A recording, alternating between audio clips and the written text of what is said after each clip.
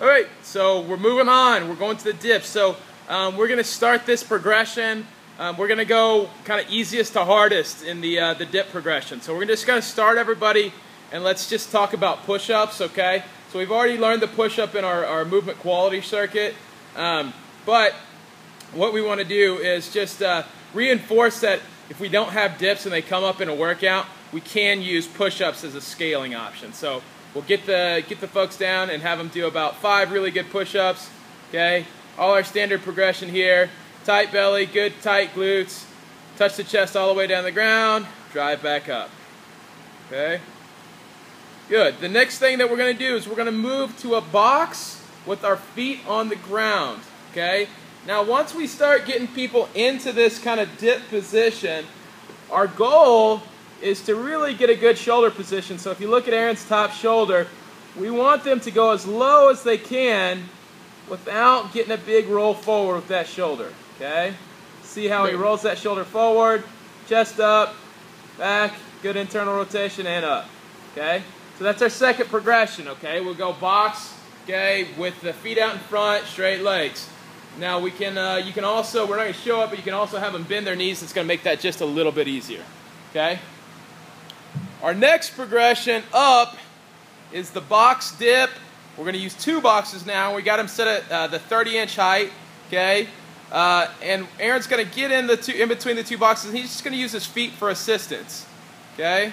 So let's move to the right a little bit. All right, it's kind of hard to see there, but Aaron's knees are directly under his uh, his shoulders. If uh, and that's, that's what we want to get. We want to get knees directly under the shoulders. Okay, still watching that shoulder position. Make sure it's not rolling forward. Okay.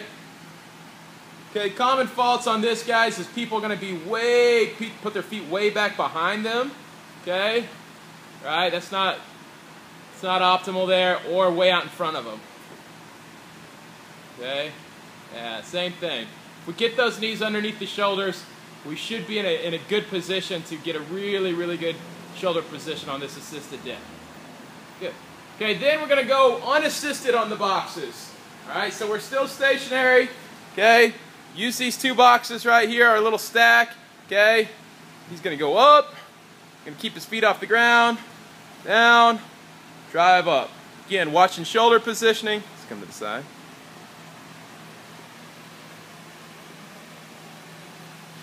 Watching shoulder positioning, trying to not let it roll forward. Good. And then the very last thing, we'll just move on to the rings.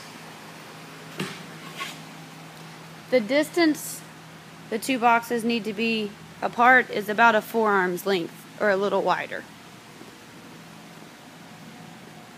Finally, we move to the rings.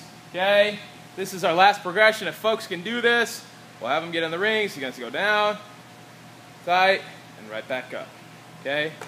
So remember, guys, we're going from stable to unstable on this. So if people can't do a dip without on the boxes, if they can't hold themselves on the boxes without assistance, they don't really have any business being on the rings. Okay? Uh, that's it. Thanks.